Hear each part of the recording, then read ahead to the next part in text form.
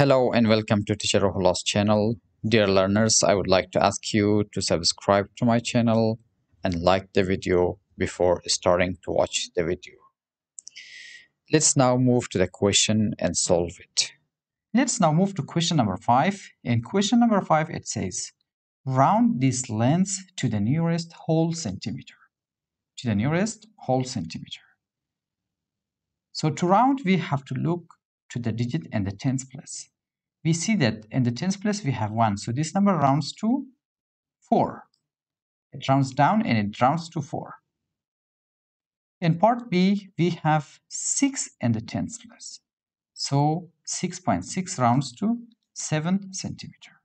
In part C, 10.1 rounds to 10 because the digit in the tens place is 1, which is 4 or less.